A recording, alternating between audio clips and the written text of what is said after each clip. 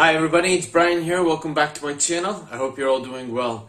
So today's episode is a special one. I had the opportunity earlier this week to interview an SEO specialist by the name of Pat Gostek. It was a really informative video. We shared a few thoughts pertaining to search engine optimization, with respect to the print on demand industry. And hopefully, the tips and advice shared in this episode is going to be of use to you and obviously provide you with a lot of value eh, with respect to your own print on demand business. So, with that said, it's a rather long video, so I'm not going to beat around the bush. Let's head over right now and get started with the video.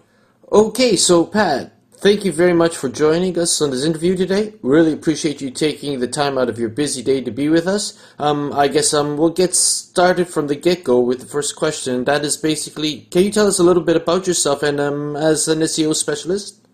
Yeah, sure. Thanks, Brian, for having me on, on your channel. Uh, I hope I will uh, give your audience as much value as uh, as as I can. Um, so I'm currently a uh, video uh, strategist, YouTube strategist slash SEO sp- strategist, uh, and uh, in regards to SEO, uh, um, print on demand SEO, I uh, I started off like f- I, I, think almost five years ago okay. with with print on demand to support my my business.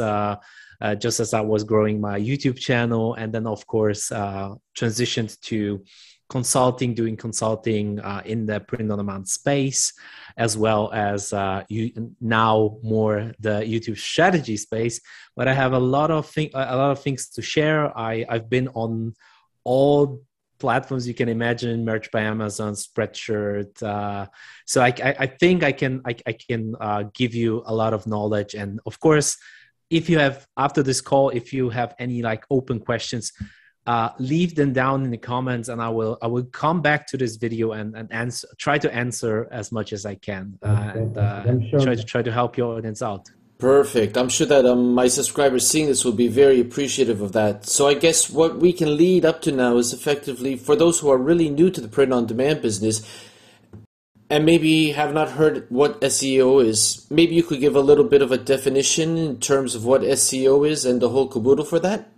Yeah, of course. Uh, so SEO, you can find like a lot of uh, like Wikipedia definitions, but for me, at least, uh, what SEO is actually having. If you have like a design and you really want to uh, nail down the keywords that uh, the people uh, are searching would, would find the design on the internet that's basically SEO, like like finding the right keywords to to uh, make your beautiful design that I'm sure you put a lot of effort in and uh, put a lot of like um, you know details into it uh, make it as as as um, searchable as findable on the internet as possible. And uh, so in the beginning when when seo kind of like emerged with google uh, it was more about you know finding keywords and then keyword stuffing thing things happened back back in the days. Luckily now it's uh, it's all like optimized and uh, it all starts like with a great design and and hopefully with SEO you can you can then um, make it more visible to to your audience. And it's it's it's the same thing for video as as as well as any product basically that you have online. Most of you uh, probably have have designs that you want to rank for right? That's a uh, brilliant actually. Um, so obviously, when we are looking at the print on demand industry as such, um, one of the more common comments in 2022 is the fact that you know the marketplace has become so saturated with designs. There is a very low barrier of entry into the print on demand design obviously that fact that you know globally we've been in and we are still are in to a certain degree with respect to this pandemic. So a lot of people either have to stay in lockdown or lose their quit their job or maybe they lost their job and are trying to find you know another way of gaining some income for themselves and for their family too as well. What would you recommend with respect to utilizing search engine optimization SEO with respect to a person's print on demand business? So, the one thing that I would uh, surely recommend is uh, finding the right niche and with the right niche is something that you are knowledgeable about uh, or uh, which something that you're passionate about so for example uh, you probably have seen a lot of uh, fishing uh, related uh, mm, t-shirts let's say this is like a very broad niche but there are like fine nuances of, of fishing. Uh, it's like um, there are like special poles special like um, uh, different ty- types of roads. And uh, if you uh, at least if you're not like not in the space of of uh, of, of, fishing like if you're if you're uh, if it's not your hobby you, you probably won't know much about fishing. So i'm i'm probably like the worst person to uh, explain fishing because I'm I'm really not passionate about it. But I'm pretty sure if you're like uh, if you have you have your passion for fishing, you will you will probably know a lot of more stuff. Uh, uh, there's a lot of more st- stuff to it. So what I would do uh, suggest like uh, for um, for anyone who's starting uh, with SEO is like using all the all kinds of uh, all kinds of stuff, uh, all kinds of um, uh, applications, tools uh, that are available. For example, if in regards to um, Amazon, you can use uh, different plugins like the, I think it's like the Unicorn Smasher. There are there are a bunch of them. Productor uh, of course, there are also premium uh, things like Helium 10 and C- uh, Cerebro or whatnot. Mm-hmm. There are a mm-hmm. lot of tools that can help you out with really uh, going deep with, with the keywords. So, um, especially as you mentioned, uh, it's really saturated. So, if you want to have success with uh, any design, you will need to really go deep down the rabbit hole of of, of keywords and uh, try to find find your unique spin to to to that uh, that niche. So, as an example, um, uh, back in the day like the, the, there was like the the niche uh, I, I, will i will give you give out like my, my niche that i was like successful uh, two or three years ago uh, there was the a fairly small niche in the vaporwave um, uh, like the the 80s um, like kind of like the the future past pastel design like the you know the dolphins and mm-hmm. and the palms and and things like that uh, so that was like a really, really, really small niche back in like 2018. And uh, I was lucky to like discover it, like that there were like t-shirts selling for like on on on Amazon. You have uh, prices uh, around like 16.99 uh, or any anywhere between 16.99 to uh, up to 19.99 but this, uh, there were t-shirts amazon like merch by amazon t-shirts selling for uh, $25 and i was like oh my god i, I gotta i gotta uh, send this to my designer and, and uh, let them design this uh, and and i created a, a, bunch of vaporwave t-shirts that sold like hotcakes like mm-hmm. like December 2018. Uh, that was really great. so, but it, it, was down to like doing a lot of research, you know, so using the tools, uh, like you, you don't have to go uh, da- uh, like deep down the, the rabbit hole uh, at the beginning. You can you can just uh, kind of start looking for let's let's say fishing and then uh, try to find like okay uh, is this something that i can des- uh, do a design for? And uh, and then trying to try to find as, as specific keywords that your niche is typing in. So um, so that that would be my advice like just just try to find the broad niche and then try to find like the nuances. So it's really it's really down to the nuances of, of the niche. So a lot of a lot of people what, what people do a lot is uh, combining niches. Mm-hmm. uh, i think that that might work because uh, like you you will obviously have people from that niche searching for let's say fishing. And then we have like let's say wife let's say wives and and family you know relationships so if you combine that you, you can you can say like my my my uh i love like there are like t-shirts like i love my wife but you know but but fishing is like i don't know uh they're like combinations of, of yeah, you know you know you, you have like uh, jokes um, that you can or, or puns and of course uh, you know you you have you, you can combine niches so that that's another strategy. Okay um I know that some people have actually brought this up in some of the Facebook groups that I, I contribute to as well. And um, basically, there was a question, a running question actually, pertaining to the file name. So when they created the design, I'm, how important is it to be strategic with respect to the file name? Does that have any pertinence or any relevance to, you know, how your design is ranked in Google, for example? So I think the in terms of uh, file name, I don't think there is like a much much of an impact in terms of platforms. Let's say Merch by Amazon, Spreadshirt, and and so forth, because obviously uh, a lot of designers just use random random uh, numbers random file names the key is to actually use the product description title those fields uh, if you have tags or hashtags that that is like the place where you should you should be optimizing not the file name but i think like in terms of uh, your own website if you have like a woocommerce or a shopify I'm I'm not on Shopify, so don't want to be like uh, telling you that I that I know how it works on mm-hmm. on Shopify, but I know that um, it might have like uh, a small percentage like for Google rankings if you're using the image like within WordPress, for example. Mm-hmm. Um, but all, even though even there you you still have alt tags and and like really specific um, things that you can you can add like uh, SEO wise to that image that will make the difference.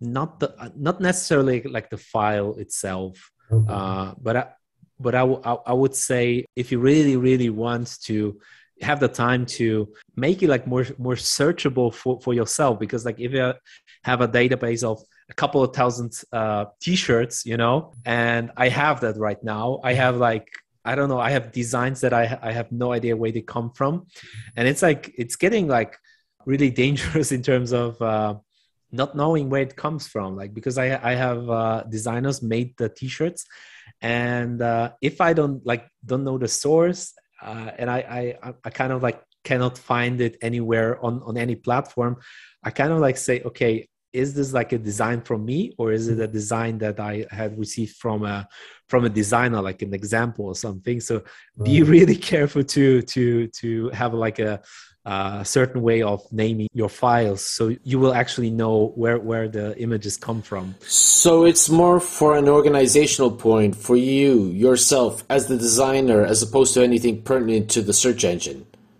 Yeah exactly. One of the things that I have been noticing and I have been seeing quite a lot, or rather hearing a lot about, is frustration on the part of people who are designing in the print on demand industry because there is the perception that you'll design a few designs, post them up, go to sleep, and the next day you wake up a millionaire, which clearly is not the case because there's a lot of competition out there. From your perspective, and maybe there is any advice that you could actually give to the people who are watching this video right now, how important is marketing your designs on social media? I mean, I already know the answer to that, but there are some people who really need to hear it over and over again. Maybe perhaps you could give your contribution in terms of what you feel and how important you feel social media is um, with respect to one's designs and marketing them.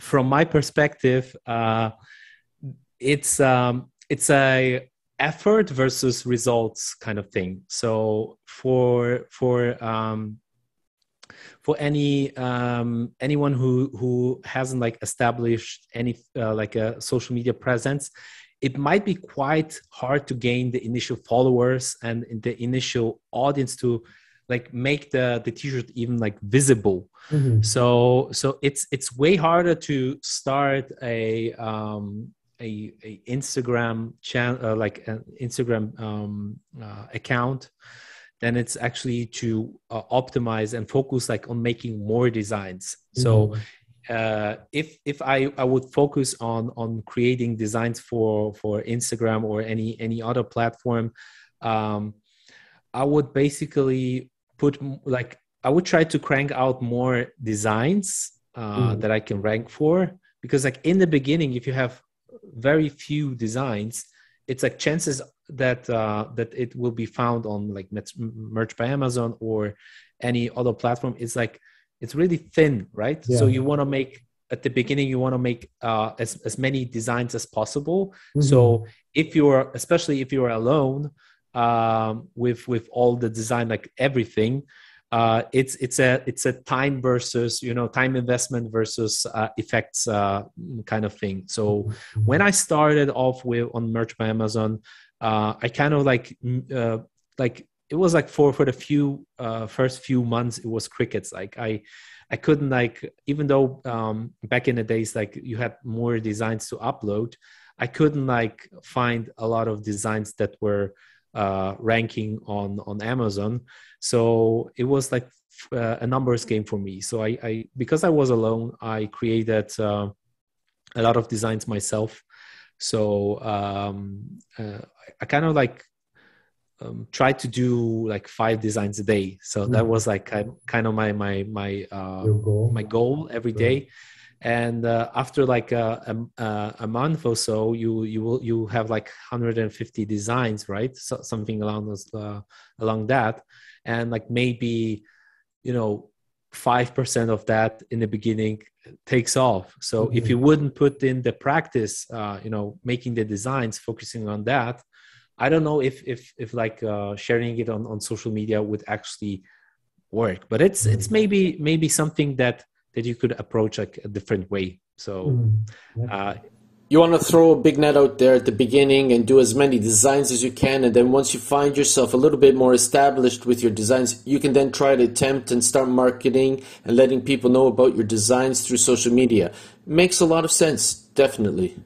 The final question that I want to ask you is what kind of common mistakes do you normally see people doing with respect to search engine optimization? there's one big in big elephant in the room like are you doing keyword stuffing or not mm. so if you're doing keyword stuffing stop it right away because like it it won't help your it can actually hurt your visibility and that is that is like if i would want you to stop one thing is keyword stuffing Okay, I'm going to stop you right there. For those who are really new to it, maybe you can, you know, explain what keyword stuffing is first. So keyword stuffing is basically using a bunch of keywords that are totally irrelevant to the to the t-shirt design to to any product actually or uh, basically anything that you do with which has to do with uh, uh, uh, SEO like uh, videos, blogs, or whatever, uh, and you you kind of like stuff keywords in it just to to to hope to be more visible on the platform. Uh, the problem with that is uh, the algorithm got smarter over time. So if, for example, you have a design like a fishing design and you have like bathtub in it, like it's like maybe like like uh, one percent related to to fishing. Mm-hmm. Uh, somehow but uh, if a lot of people are typing in bathtub and then um, you have impressions so anytime a design is showed on the platform the algorithm knows knows how many people actually clicked on the design itself. So if you have like a thousand impressions but only one uh, one one person clicked on the design this means that this keyword isn't relevant. So it it generally hurts all of your uh, performance of, of that design on the platform because uh, they like amazon or any other platform spreadshirt uh, redbubble they will know that uh, that the t-shirt isn't like as exciting and it it might happen that you will rank eventually but if you if you choose your words wisely you will probably rank much faster like you can even like use fewer keywords just to be safe you know uh, just to be safe on, on the safe side. And uh, and if people like the design people click on it people buy it then uh, then uh, it will help your rankings much more than like using irrelevant uh, hashtags tags and keywords. And would you agree that you know finding that one common keyword tag and putting it in the tags, in the description, and in the title could actually be beneficial to one's ranking? Exactly, hundred percent. So I would, I would, I would definitely choose one uh, one keyword that is uh, relevant like to the design like really specific mm-hmm. use it in any place that you, you can use it just once and then uh, title uh, description you can use different keywords that are also related to the design but maybe like um, alternative words synonyms um, any puns or uh, t- like describing a topic. For example uh, maybe it's a funny t-shirt maybe it's sarcastic maybe it's um, let's say in the fishing niche like you, you can add uh, relevant text but just um, make it also readable for the for the human. If you uh, see uh, like a, a, title that is like you know a bunch of keywords that is like doesn't make sense uh, it's it's a sign that it's like too too keyword stuffed. Too spammy and you want to avoid that. Yeah exactly. You, you don't want to be in the spammy boat. So because obviously after a while if you do it like over and over again the, the platforms will also like kind of I don't know if it's a myth or not uh, that there's like a shadow ban. Uh, mm-hmm. You have it on on all different platforms, uh, so you you might your profile might get like shadow banned, you know, all the way through. Generally, uh, it's not a good idea to keyword stuff. Pat, this has been very, very insightful. We really enjoyed the conversation that we had, and I have no doubt that the viewers watching this particular episode will have gotten a lot of value out of it. How can viewers find you on other channels?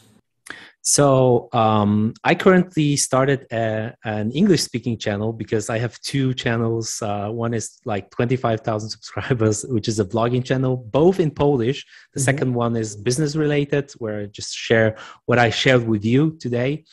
Uh, and uh, the new channel is Productive Creators mm-hmm. um, on YouTube. I will I will send you the link, and you, you can you can link it down down in the description. In the description and uh, and another thing that I can offer is actually you can DM me on Instagram, which is at Pat Gostek, just just at Pat Gostek. And we'll put that link in the description field below too as well. Excellent. Well, Pat, I want to thank you very much for the time you've taken. I know that this interview was long in the making. We had a few hiccups trying to meet up as well, but this is part and parcel of, you know, having interviews from different countries across borders and whatnot. Thankfully, the internet has made it really easy for these kind of things to happen. So I'm really thankful. And on behalf of all the viewers on and subscribers on my channel, thank you very much for being with us and we wish you continued success. Yeah, Brian, thanks for having me. Thanks again. See you.